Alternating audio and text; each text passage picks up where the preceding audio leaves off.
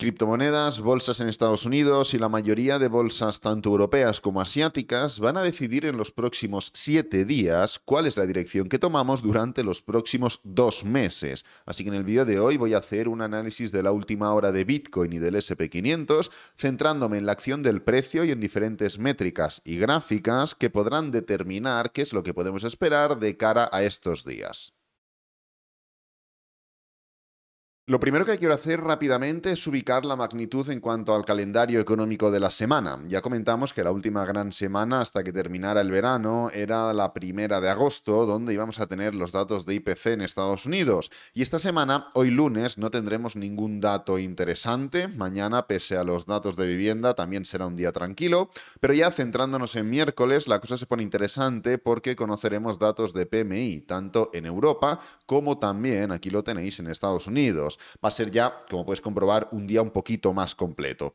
Pero es que el jueves ya se inicia el simposio de Jackson Hall. Aquí lo puedes ver. Si no sabes lo que es, te lo explico muy rápido. Es literalmente como una fiesta pijama, pero de banqueros y expertos en economía y finanzas. Se reúnen cada año unos días, siempre a finales de agosto, para hablar de forma distendida sobre la situación económica, medidas a tomar, esperanza de cara a futuro, y etcétera, etcétera. Esto evidentemente genera mucho interés ya que tendremos discursos, declaraciones, informes y otros datos de lo que estos expertos opinan sobre la salud económica en Estados Unidos. Y esto es lo que nos va a ocupar tanto el jueves como el viernes, lo tenemos aquí también, como también el fin de semana. El sábado también vamos a tener información procedente del simposio de Jackson Hall. Así que ya hemos visto que no va a ser una gran semana, creo que es evidente, pero tendremos argumentos suficientes como para esperar volatilidad en cualquier dirección. No es lo mismo tener un dato y saber que va a salir un dato, IPC, tipos de interés, temas de vivienda, lo que sea, que evidentemente puede haber sorpresa tanto positiva como negativa, que lo que vamos a vivir durante estos días, ya que no sabemos en qué dirección van a ir los discursos. Así que la incertidumbre es mucho mayor. Entonces, habiendo comentado todo esto, Vamos a pasar ya directamente a por el análisis y predicción de Bitcoin y SP500, aunque como te digo vamos a tocar diferentes gráficas. Entonces, en cuanto a Bitcoin, a ver, esta semana va a ser muy importante simplemente por un motivo, y es que es la semana que confirmará o no confirmará, punto número uno, la relación que vamos a tener a partir de ahora con la Bull Market Support Band, y punto número dos, la confirmación de este patrón de doble techo o patrón de reversión, ¿no?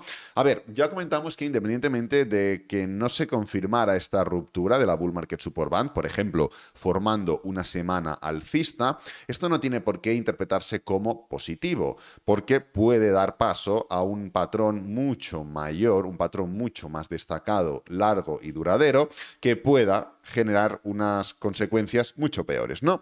Pero el tema es que la bull market support band es una zona, como ya sabemos, de soporte y resistencia dinámica, y en los momentos en la historia de Bitcoin donde hemos comprobado que el precio tiene una relación podríamos decirlo tóxica, porque, pues bueno, ahora te rompo, ahora para abajo, ahora para arriba, ahora para abajo, ahora para arriba, luego para abajo, termina mal termina pues haciendo perder el tiempo, ya que estuvimos literalmente, el precio de Bitcoin se estancó, pues mira, desde el punto de los 5.100, 5.200 hasta que volvimos a testearlo, estuvimos 343 días, que sí, hubieron altibajos, pero el precio llegó al mismo punto.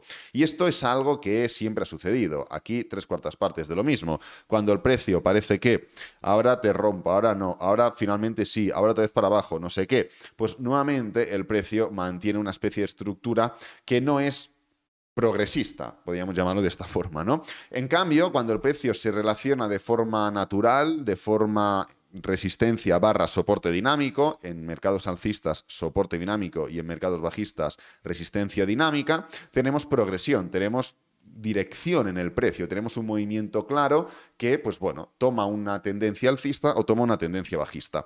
Entonces ya podemos ubicar, primero de todo, la importancia de esta semana, ya que va a determinar, oye, la relación con la bull market support band va a ser limpia o no va a ser limpia.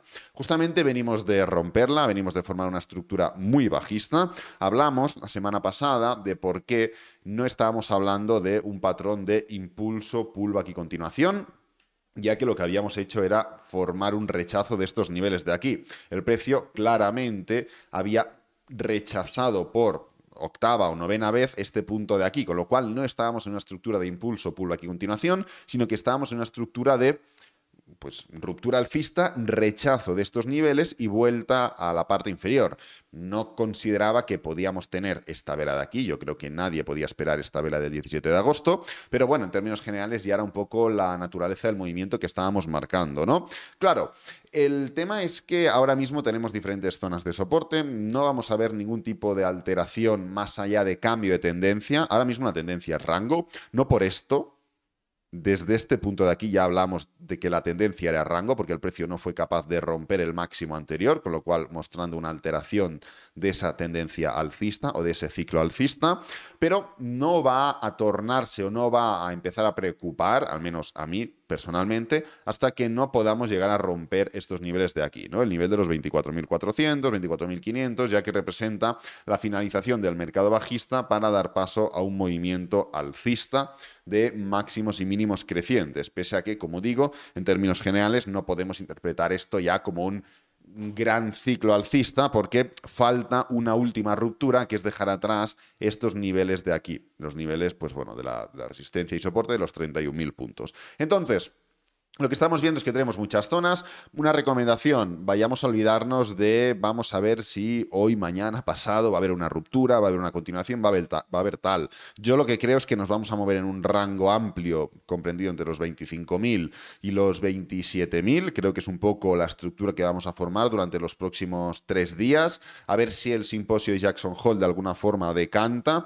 No creo que haya demasiada volatilidad en ese sentido, porque ya nos dejaron bastante claro durante los últimos tipos de interés y durante los datos de IPC que tuvimos hace un par de semanas cuál es la perspectiva. Pero independientemente de ello, pues bueno, nunca podemos cerrar la puerta, ¿no? Entonces, igual que marcamos aquí y aquí, vamos a olvidarnos de la predicción al día, y vamos a centrarnos en la estructura general. Y ahora mismo, no únicamente en cuanto a Bitcoin, ahora tocaremos ciertos puntos de aquí bastante importantes que creo que son claves para entender de manera unánime qué es lo que podemos esperar. Pero si nos venimos a la dominancia, la tenemos por aquí, sucede algo bastante interesante, ya lo hemos comentado en otras ocasiones, y es el mes de septiembre.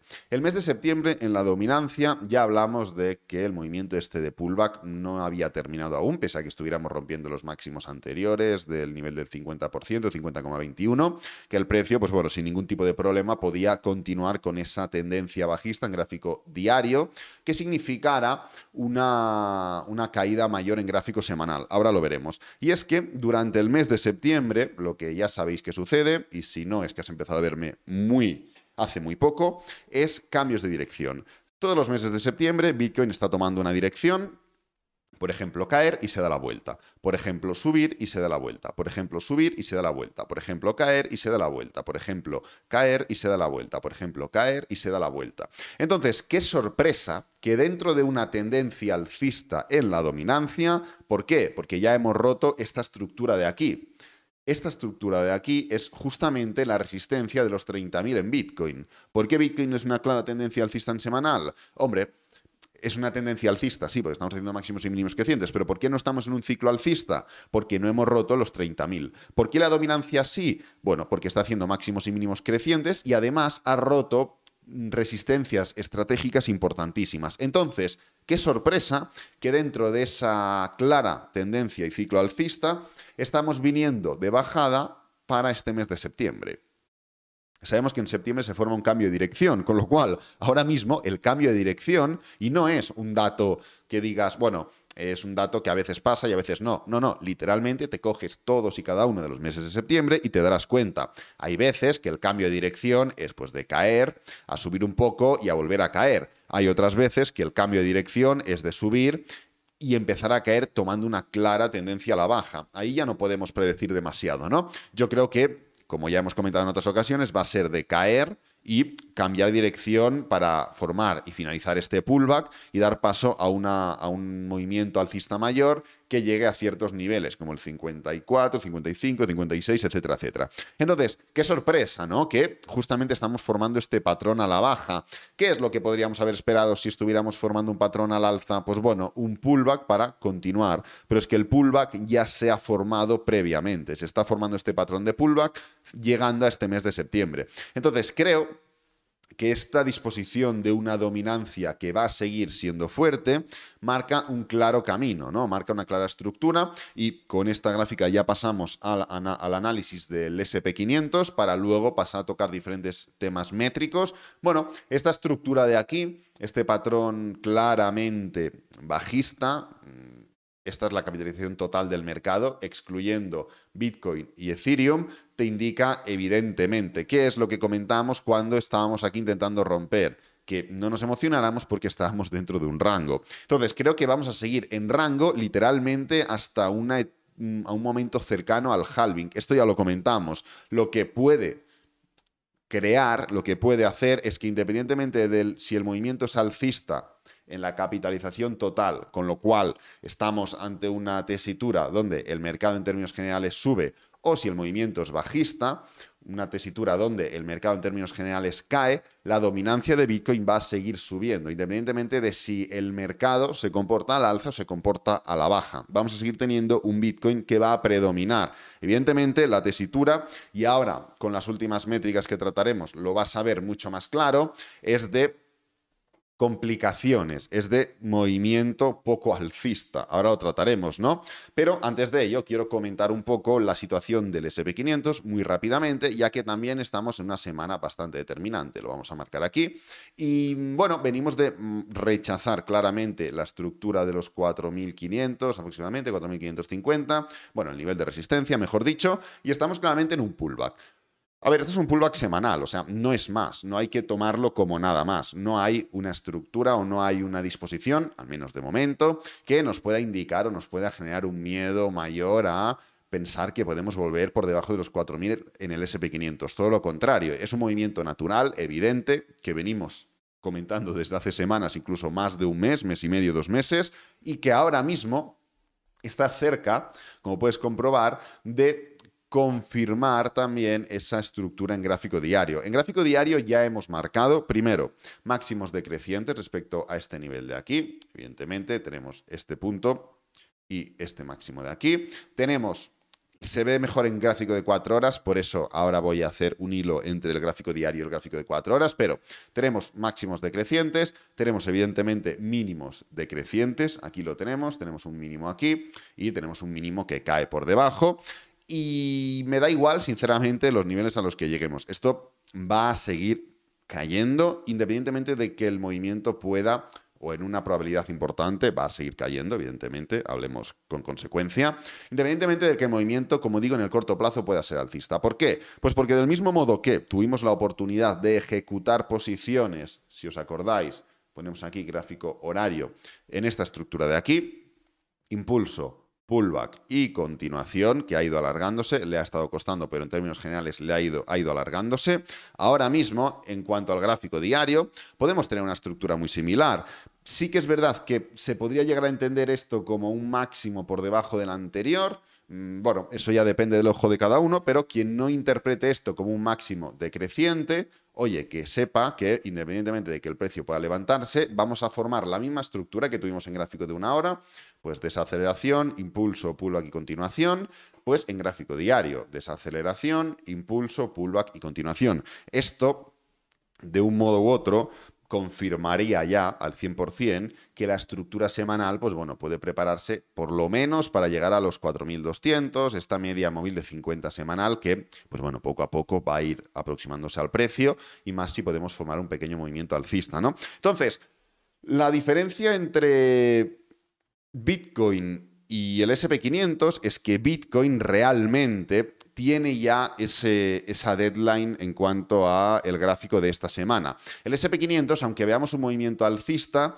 bueno, mm, podría significar sin ningún problema un máximo decreciente. Bitcoin podría introducirse por encima nuevamente de la bull market support band, justamente lo que hemos comentado, pero dando paso a una estructura o a una tendencia mucho mayor dando un movimiento semanal mucho más alcista. En el caso del SP500 es una semana también determinante, pero no va tan al milímetro. ¿Por qué no va tan al milímetro? Pues bueno, porque se puede formar una semana alcista, pero que únicamente implique una pequeña semana alcista que implicaría un pullback alcista en gráfico diario para una probable continuación, ¿no? Además, si miramos el VIX, si analizamos lo que está haciendo el VIX, esto es el índice de volatilidad, En pocas palabras, es más complejo que esto, ¿eh? pero cuando el VIX sube es que hay miedo e incertidumbre en el mercado y las bolsas caen.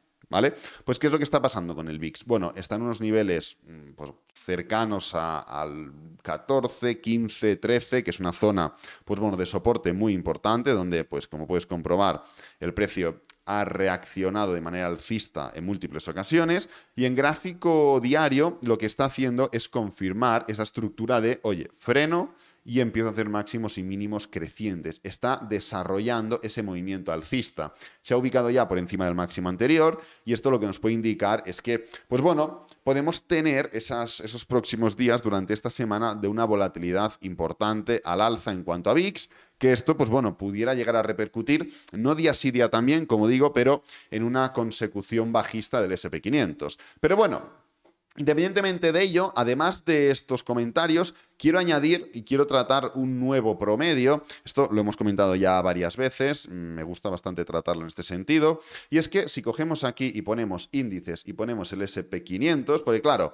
oye, ¿qué hemos hecho? Hemos analizado lo que está pasando con los índices, técnicamente hablando, hemos dado motivos técnicos a la situación que estamos viendo, hemos marcado de algún modo la probabilidad de lo que puede suceder, ya sea un movimiento alcista o sea un movimiento bajista. Como ves, todo va enfocado a una misma dirección, pero igual falta ser un poco más claro en cuanto a lo que se puede esperar, ¿no? Pues oye, vamos a añadir un promedio y no va a ser el, típico promedio que ya hemos comentado únicamente de años preelectorales y demás, sino que vamos a ver literalmente qué pasa de promedio en todos los años del SP500. Entonces, ¿qué pasa si juntas desde el 1928 hasta el año 2023 y haces un promedio en el SP500? Pues bueno, que te sale esto un gráfico que tiende al alza. El SP500 es evidente que es un activo que tiende al alza, es un activo que pues le gusta subir y no lo digo yo, no lo dice este gráfico, sino que lo dice la historia, ¿no?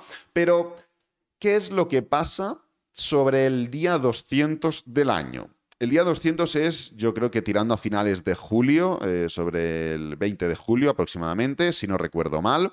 ¿Qué es lo que podemos comprobar que pasa con el SP500? Que inicia un movimiento a la baja, esto es el promedio histórico, ¿eh? Inicia un movimiento a la baja, luego, en términos generales, continúa durante los próximos mes y medio, dos meses, pero luego, ¡pam!, vuelve a la baja. Se intenta levantar, pero luego, ¡pam!, vuelve a la baja. Y no es hasta pasado Fíjate, no es hasta pasado prácticamente el año, el día 300, 320 del el día 300, 320 del año, donde ya dejamos atrás ese pequeño movimiento correctivo que iniciamos en esa etapa de o en ese día 200. ¿Qué es lo que está pasando ahora mismo? Ahora mismo, si cogemos el día 200, no es exactamente el día 200, en el año 2023, que es esta línea de color morado, inicia el movimiento correctivo en el, año, en el día 210. Bueno, ningún problema.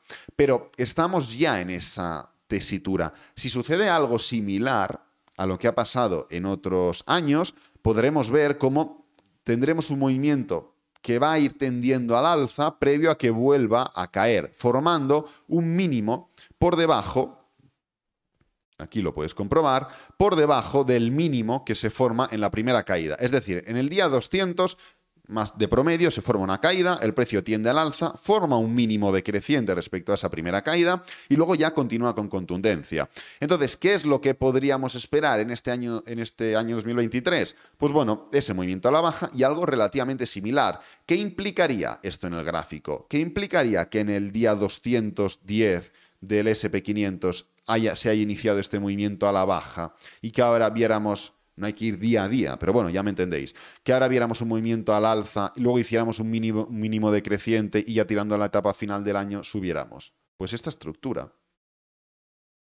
Impulso, pullback y continuación. Es así de sencillo. Si además lo que haces es añadir los años preelectorales, ¿qué es lo que te encuentras? Pues literalmente lo mismo. Los años preelectorales en el SP500 2023, 19, 15, 11, 7, 3, 1999, 95, 91, cada cuatro años, evidentemente. ¿Qué es lo que podemos comprobar? Y es la línea esta de color morado. La vamos a analizar como tal, esto ya lo hemos tratado en muchos otros vídeos, pero bueno, en los años preelectorales es un movimiento más agresivo, porque la caída es mayor, esa caída inicial, el movimiento de pullback no supera el máximo anterior, en el, promedio general del SP500 sí, la caída es menor y el movimiento de pullback sí que supera el máximo anterior. Y fíjate cómo realmente se tarda mucho más.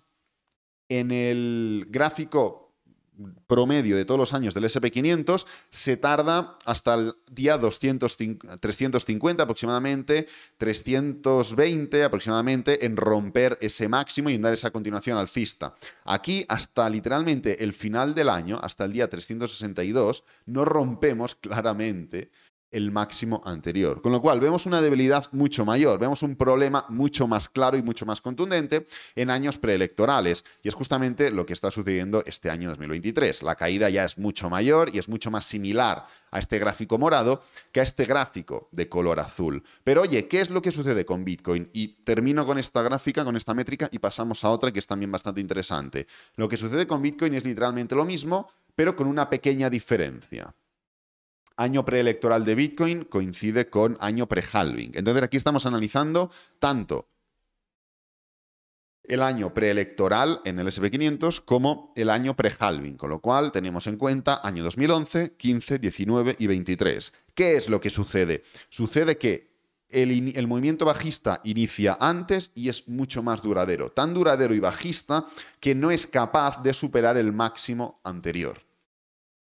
Entonces estamos literalmente en esta tesitura, estamos en la misma tesitura. Primera etapa del año alcista, segunda etapa del año movimiento bajista mucho más claro y contundente que en el SP500. Y ahora, en este año 2023, estamos en las mismas. Primera etapa del año alcista, justamente, ¿dónde empezamos a flojear? Día 175, día 200. ¿Qué es lo que pasa de promedio? ¿Dónde empezamos a flojear? En el promedio de los años pre-halving, día 160 y evidentemente pues de, ahí en adelante, ¿no? Entonces, ¿por qué es un movimiento claramente y mucho más contundente a la baja el de Bitcoin respecto al del SP500? Es únicamente porque y esto es literalmente lo que espero de Bitcoin para las próximas semanas, para los próximos meses, mejor dicho. No viene de ahora, ya lo sabéis, venimos comentando desde hace tiempo. Pero bueno, es un movimiento más contundente. ¿Por qué? Es únicamente porque estamos añadiendo dos elementos, un año preelectoral que ya afecta, evidentemente las elecciones como tal, no va a haber un presidente que mande en Bitcoin, pero va a haber un presidente que mande en Estados Unidos y la convergencia que tenemos afecta evidentemente a Bitcoin, ¿no? Entonces, es únicamente que añadimos al año preelectoral el año pre-halving, que eso en el SP500 no lo tenemos, el pre-halving. No es solamente eso, sino que también estamos hablando de lo que sucede en la volatilidad. Como puedes comprobar, la volatilidad de Bitcoin de promedio va entre el 9,7% y el 30%, 16% y 30%, 10% y 50%, 44 y 109, 19 y 43, 8 y 29, 9 y 15. Es decir, son volatilidades muy importantes, son movimientos muy agresivos, tanto al alza como a la baja. ¿Qué es lo que sucede? En el SP500. ¿Qué es lo que sucede en un índice estadounidense? Pues que las volatilidades, si nos venimos abajo de todo, son mucho menores, de 1 a 4, de 0,1 a 4,2, de 0,5 a 5, de 1,3 a 6. Es decir, prácticamente ni sumando las volatilidades mayores de bit del SP500 podemos llegar a un promedio de las volatilidades normales de Bitcoin. Entonces, este es el motivo por el cual en años que históricamente son bajistas por temas fundamentales, como hemos tratado, preelecciones, pre-halving, este es el motivo por el cual el SP500 absorbe de mejor forma el movimiento a la baja que puede formarse para poder incluso finalizar el año por encima. En cambio, Bitcoin no lo absorbe del mismo modo y forma movimientos o forma una caída tan agresiva que luego la recuperación le cuesta, se le atasca. Y es el punto en el que, pues bueno, en este tipo de años Bitcoin no se comporta demasiado bien. Eso sí, el año 2024, es decir, el año halving, el precio en Bitcoin forma una recuperación mucho mayor y mucho más alcista que lo que pasa en el SP500 y el año posterior al halving, es decir, lo que sería el año 2025 para el contexto que estamos viviendo, Bitcoin explota.